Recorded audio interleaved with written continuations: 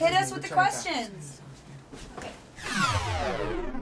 You know, radio Disney is a kids for you know station for kids, and by kids we mean you know ages two to fourteen years old. Station called it's a syndicated radio station. So you know how when you watch um, uh, any kind of sports on TV or the Super Bowl, you know how it's like all across the country. You can see it in Chicago, you can see it in New York. And for Radio Disney, you can hear us around 42 stations all across the country, so 42 cities. You only hear Adam and I locally in Chicago on AM 1300. What is your job like? What's your job like? Well, Adam and I, we have a really cool job because you know you can hear we can hear ourselves on the radio, which is kind of cool. But we get paid literally to jump around. We sing along to songs. You know how like if you sing along to the radio at home, we get paid to do that with you guys, Mhm. and we get to be able to give away free stuff. And um, so we get to go around all around Chicago, and um, it's just fun. We get to go to concerts, Yeah. and our homework is like literally listening to music, what new video games are out there, um, movies that we like. We have to be like professional kids, kind of.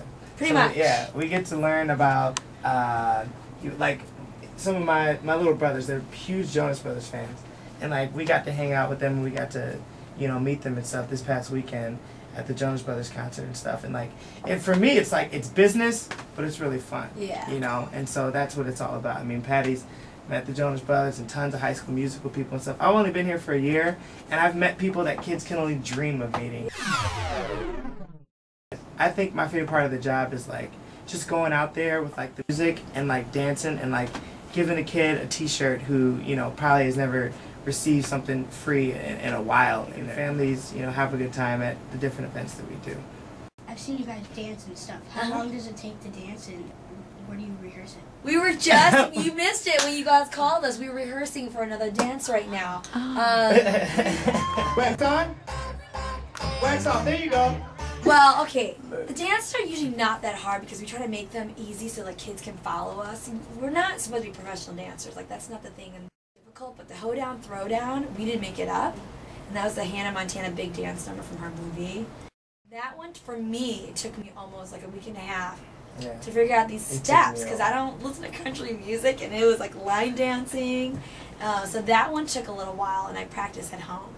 in here, like we were literally standing where Patty is right there, and we were looking at the screen, at the computer screen, because we, We made up we made up a dance like client, yeah, Great like, Lodge. two months ago, Dells. and like we forgot the dance, so we were like watching ourselves on the screen, like oh that was the dance we were coming up with, but we rehearsed here and like By the way, we didn't do any of those oh yeah we did it was the wrong move, just so you know. but we re- we rehearsed here or, or out there at the in the conference room. How many prizes do you Oh, we were just talking about that. Oh we have a prize closet, okay, downstairs, like in like the vault area, and we just went into it yesterday. and We're like, ooh, it's empty because it's getting empty in the summer. So for one hour show, the value of it could be a lot. We can give away almost up to thousand dollars at an event or three hundred bucks. You know, so I just packed for Kiddieland every Wednesday. I'm at Kiddieland from two to four for Wacky Wildcat Wednesdays. So I'll do like eight DVDs and then Mhm. T-shirts and frisbees. We get we, we get some really cool prizes sometimes. A lot of our prizes are like our priceless things. So your autograph stuff, you know, an autographed guitar or a prop movies. So those come from our network. It's pretty cool, you know. And so instead of just giving you tickets to like the last row of the concert, we're gonna give you front row tickets. Wouldn't you rather have that? Yeah. You know, we always want to do something. It's like quality over quantity. We were just talking about that today. So instead of um, just a Wii game, we're gonna give you the Wii console with extra like gaming devices and the game. You know, we always. And if you do a dance, if you have fun with us, then we will give you a prize. All right. Everyone always asks, like, how many of you guys think you're gonna win this prize? And like everyone's like, yeah. And we have So two it's like- tickets. yeah, we have two But the tickets. front row. Yeah, So- it's like 250 people who think they're gonna win that prize. Like they're just all gung ho and excited about. It. And even if they don't win, we usually have like a consolation prize for the people who aren't there. But they're just people come out and they just love it, you know. And they're all about winning free tickets. Shoot, I want some free tickets to a concert. Oh, this was really cool. This is years ago, though. We got to give 20 families won a trip to Disney World for a day. So you got to bring like four people with you, and we had our own private plane that we flew out of the Gary Airport. So at four in the morning, Wow. you know, a car picked me up, and we go to the airport at five in the morning. We're on the plane, we fly to Disney World. Everyone, you know, gets dropped off, play all day, and then we flew back that night.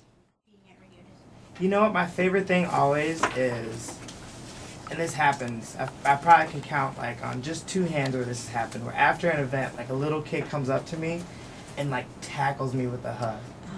You know that is like the best feeling in the world. To where like I'm packing up, you know, putting the microphone away or like taking the speakers down. All of a sudden, like this five-year-old kid or like this ten-year-old kid just runs up to me and just hugs me, and I'm just like, I don't know you, but like that, it, it makes me feel so good inside.